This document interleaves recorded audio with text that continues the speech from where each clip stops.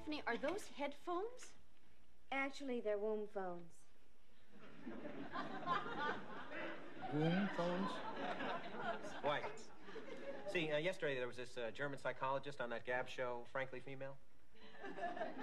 I, I taped it by accident. Like you accidentally tape the bold and the beautiful every day? I, o- I only watch it for the bold stuff. Anyway, this German expert said that children in the womb, or Wombkinder, can actually hear sounds before they're born. And, and what are the, the young kids listening to these days? Oh, Mother Goose and that sesame seed stuff. But not our little biddle. The Art of the Deal by Donald Trump? Today's tykes are tomorrow's tycoons. Stephanie, I think you're putting too much pressure on the baby. You should feel what it's doing to my bladder. Zounds, this bad boy better blow. Cans on the bottom, eggs on top. Cans on the bottom, eggs on top. Hardest working grocery clerk in Vermont. Cans on the bottom, eggs on top. Cans on the bottom. uh, what's on top? Eggs. Right. Restless night, George? Oh, I've been tossing and turning a lot lately. It's this recurring nightmare I keep having over and over and over again. Yeah, uh, recurring nightmares are better, you know, when you only have them like once. What's it about? Well, I'm standing on this really high cliff, surrounded by a bluish fog, just like in those rock videos, only I'm not wearing spandex pants. Yeah, that, that would be a nightmare. A glittery figure is standing behind me, whispering, Jump, George, jump. And just as I turn to see who it is, I'm pushed off the cliff in, into the unknown. I start falling, and just when I'm about to hit the ground, boing, I wake up. Well, you know, that's because if you hit the ground, you die. and they say if, you know, if you die in your dreams, that you, re- you really die. I didn't know that. Well, you know, it's just what they say. Well, they wouldn't say it if they didn't mean it. George, trust me, you don't have to worry about dying in your sleep. You bet I don't, because I'm never going to sleep again.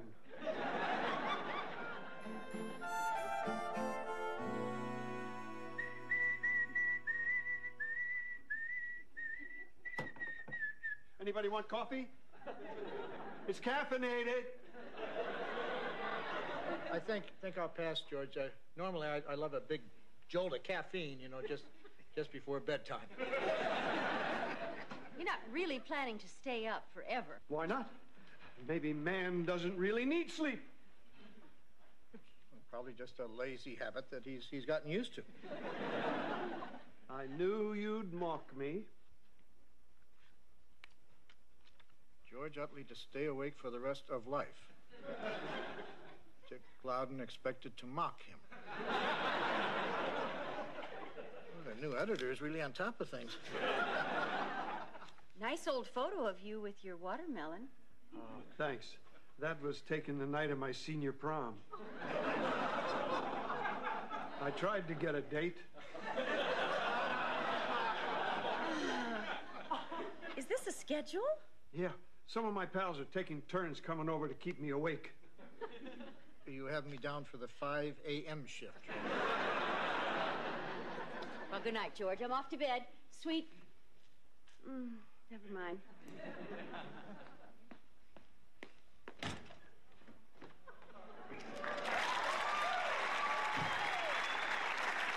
Hi. I'm Larry. This is my brother Daryl, and this is my other brother Daryl. Hey, my first shift is here. We come bearing gifts, not unlike three wise men on another special night. I gather you bring uh, gold, uh, frankincense, and myrrh. Oh, Dick, you gather incorrectly yet again. Though you did happen to name two of our accountants.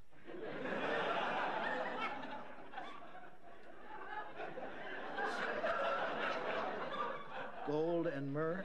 No, Frank and incense. A thermos of warm milk, your favorite bedtime stories, and Burl Ives' Christmas album. I, I thought the object was to keep George awake. That's where these come in. Nice, sharp knitting needles. George, listen, I, I, I hate to tell you this. I know, you know, you, you're scared, but I mean, you, you, you've got to sleep.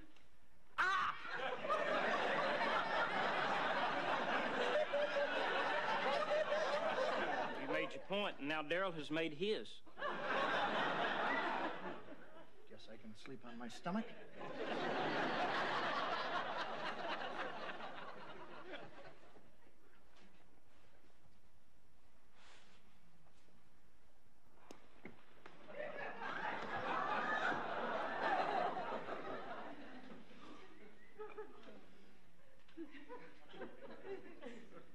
It looks like your brothers have had enough excitement for one evening.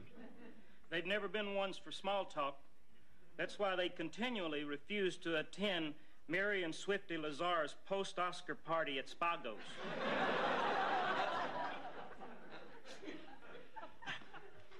You know, Larry, we've known each other a long time. I'll bet we have a lot in common. Like what? Well, we both wear hats. Hey, you're right. Want to switch? Okay.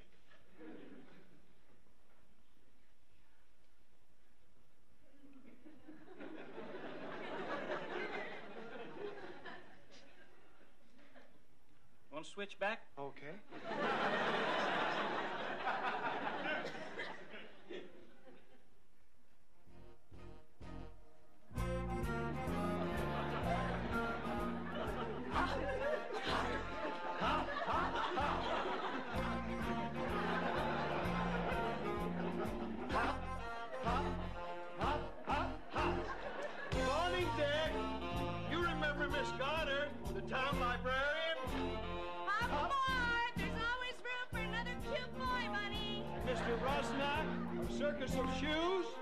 Touch my hips and die.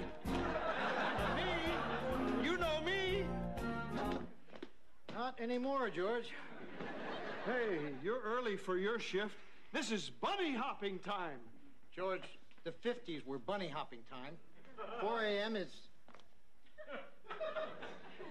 sleeping time.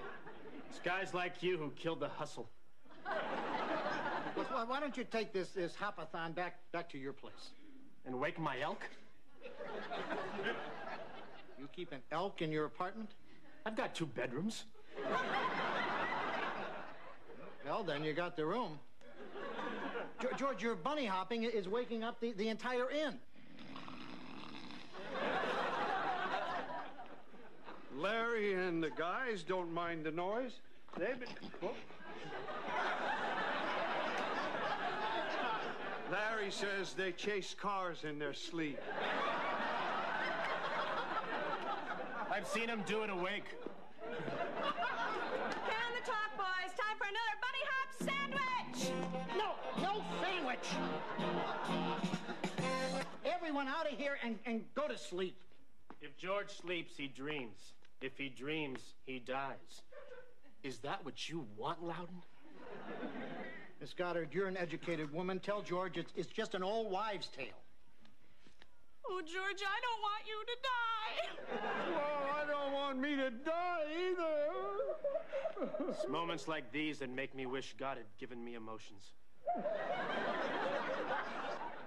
It's moments like these that make me question this town's sanity.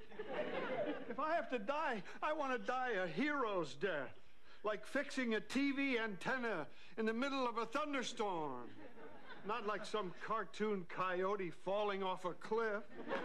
Pardon me, but Wiley Coyote never actually dies. The impact just forces his legs into his head and he walks around all squished up for a few minutes. Well, I don't want that to happen either. Well, maybe you could try flapping your arms before you crash like this. That'll work. Well, I don't know. My arms aren't as mighty as yours. I'd better just stay awake. Perhaps I could provide some alluring diversions. Hey, no diversions in my inn. Uh, George, I'm, uh, I'm, I- I'm worried about you. I mean, bu- bunny hopping at, at four in the morning. I, I think, I think you need professional help. From Arthur Murray? No, from Dr. Mary Kaiser. Dick! Everybody knows no Utley has ever been to a psychiatrist. Well, I, you know, I knew no Utley had ever been to a chiropractor. You think I need a shrink? I thought you were my friend. Look, George, I'm I'll- not finished.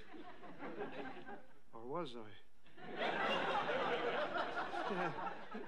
I guess maybe I was. Look, George- No, no, there's more. You may think I'm confused, but there are two things I'm absolutely sure of. One is that I don't need therapy. And, and what's the other one? I bunny hop or I die. Come on, George, grab my hips and live! There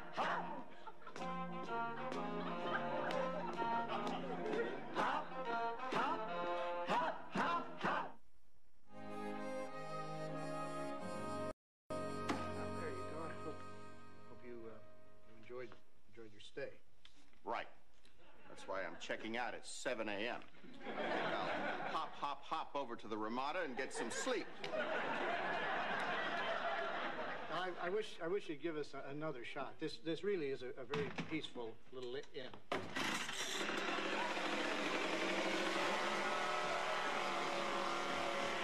You know, Dick, I can't help noticing this wall doesn't do anything except hold up those pictures.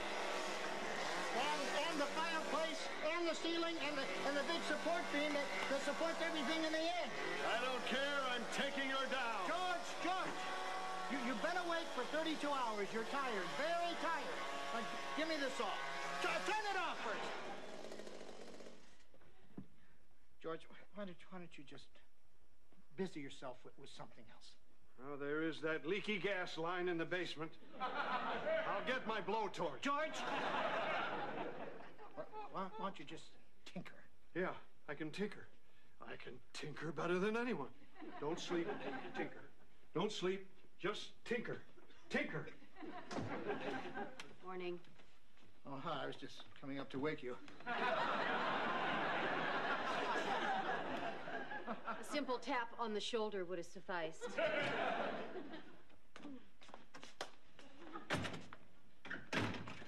Some, something wrong? The womb phones double crossed us.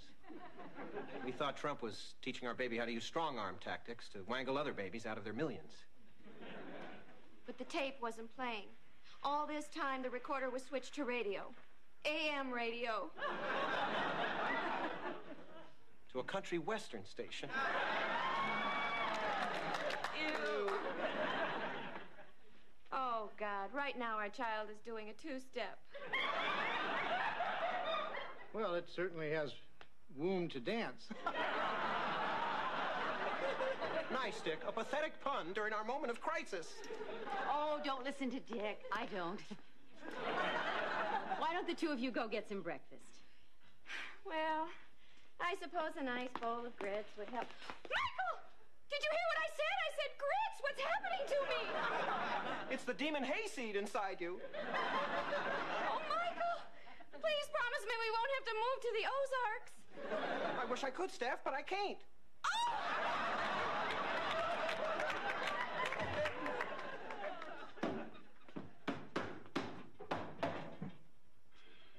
That uh, that wall that wall been been bothering you too, George? Oh, no. I like this wall. These are just love taps. Uh, uh, Dick, Dick. Yeah. All right. I, I better call for an appointment with, with Dr. Kaiser. You want to make one for me, too?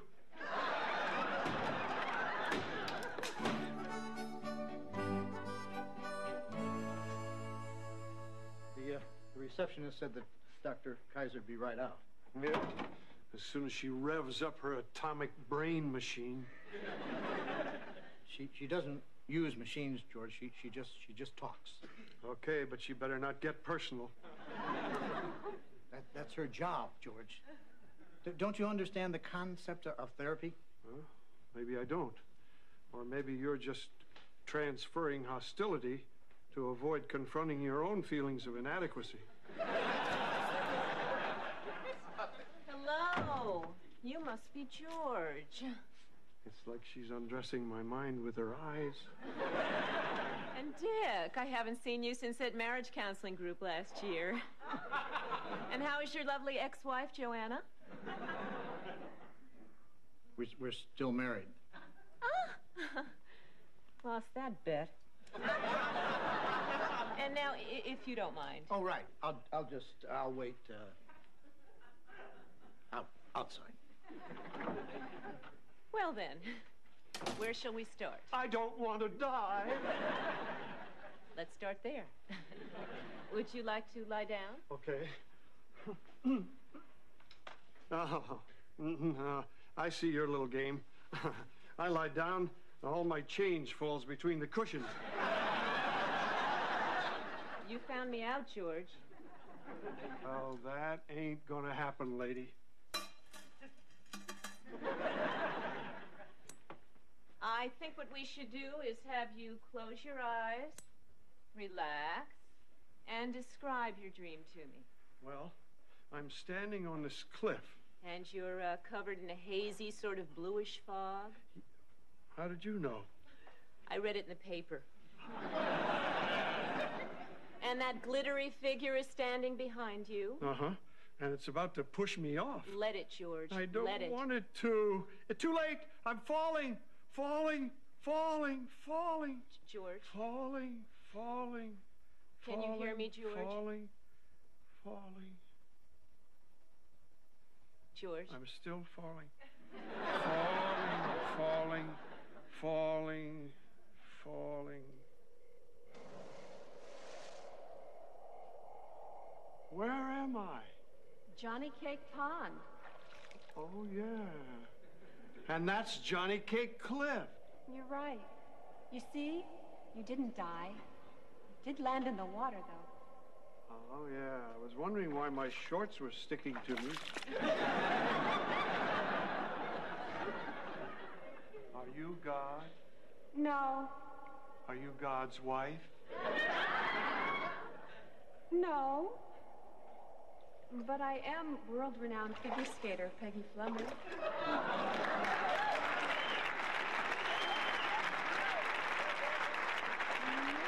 Oh, you are Peggy Fleming. And that's that glittery outfit you wore at Grenoble, France, when you were the figure skating champion in the 1968 Winter Olympics. Oh, George. You're making me blush. Hey, you're the one who keeps pushing me off that cliff. What the heck's wrong with you? Well, I'm doing it to help you get over your fear. Of dying? No, of swimming. Swimming? Oh, that's right. I never learned how. Hey, you know, the kids used to tease me because I wouldn't jump off that cliff. Well, no one's ever going to tease you again. Why, are you going to run over their feet with your ice skates? No, I'm just here to remind you that swimming lessons begin at your local YMCA next week. Oh, yeah. I keep seeing that flyer in the hardware store. Wait a minute. Wouldn't this dream have more impact if you were a swimmer? This is your dream, not mine, George. Good point. You want to do a little skinny dipping? This dream is over, George. But remember, it's never too late to learn to swim. It's never too late to learn to swim. Never too late to learn to swim. Never too late to learn to swim. Never too late to learn to swim. Never too late to learn to swim. Heavens too great to spurn within. That's it. I believe that George has finally learned to face his fears by seeing death more as a passage than as an end. I, I thought he, I thought he was saying, never too late to learn to swim. No, no, no, no, no, no, no. That's why I have this wall of diplomas. anyway, I'm free now if there's anything you would care to discuss. Ac- Actually, there is, there, there is something. Um, do, do you ever have the you're the only sane person in, in a town full of crazies? Is that how you feel? All the time. I see. Well, my appointment book is in the outer office. Why don't I just go and put you down for, oh, every day next week? Oh, no, see, see, I can't afford, uh...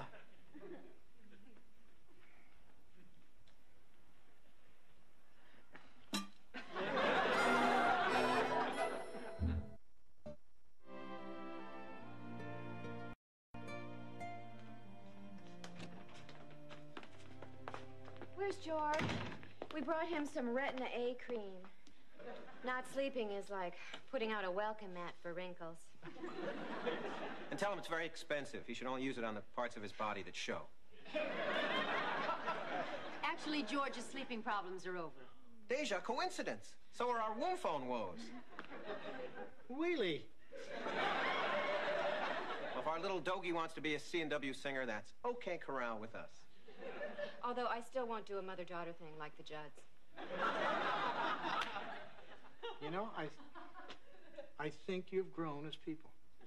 Oh, I would I never don't say so, that. you? You realize how much money there is in country? I mean, our little coal miner's daughter or son has the potential to rake in bazillions. Come on, Michael. I'll cook you up a mess of corn bones and a heap of crawdads. Jambalaya. oh, oh, Stephanie. You forgot your wrinkle cream. Why don't I just leave it there, Joanna? And later, when you're all alone, I'm sure you'll do the honorable thing. Well, that does it. I don't care if their kids' album goes platinum, I'm not going to buy it. you don't think I need this, do you, honey? You know, I think George missed the wall over here.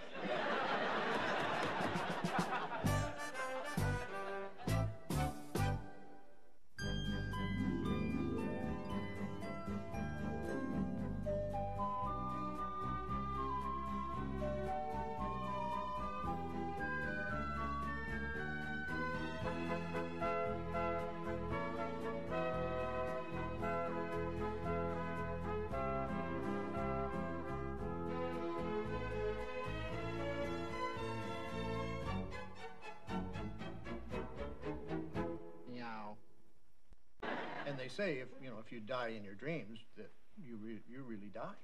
I didn't know that. Well, you know, it's just what they say. Well, they wouldn't say it if they didn't mean it. George, trust me, you don't have to worry about dying in your sleep. You bet I don't, because I'm never going to sleep again.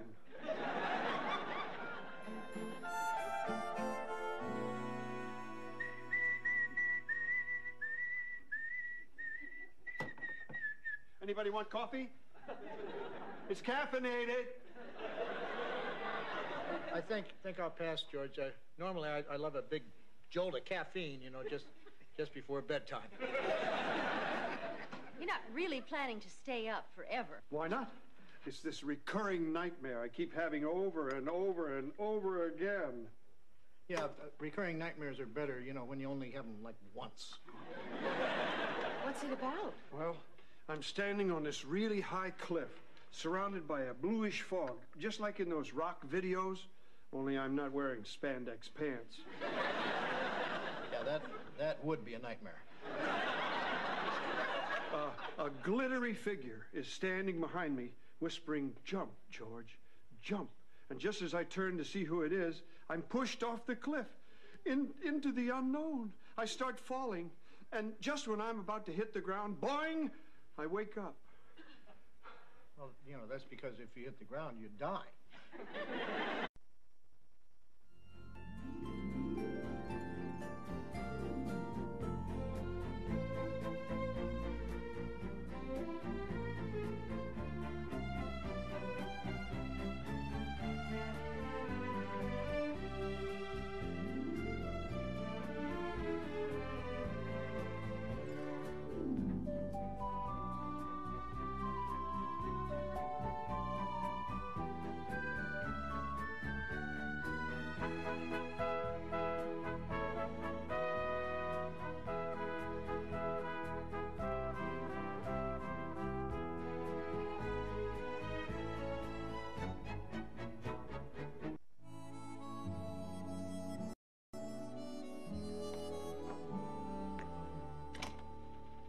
are those headphones? Actually, they're womb phones. Womb phones? White. See, uh, yesterday there was this uh, German psychologist on that Gab show, Frankly Female. I, I taped it by accident. Like you accidentally taped the bold and the beautiful every day? I, o- I only watch it for the bold stuff. Anyway, this German expert said that children in the womb, or Wombkinder, can actually hear sounds before they're born. And, and what are the, the young kids listening to these days? Oh, Mother Goose and that sesame seed stuff. But not our little biddle. The Art of the Deal by Donald Trump? Today's tykes are tomorrow's tycoons. Stephanie, I think you're putting too much pressure on the baby. You should feel what it's doing to my bladder. Zounds, this bad boy better blow. Cans on the bottom, eggs on top. Cans on the bottom, eggs on top. Hardest working grocery clerk in Vermont. Cans on the bottom, eggs on top. Cans on the bottom. uh, what's on top? Eggs. Right. Restless night, George? Oh, I've been tossing and turning a lot lately.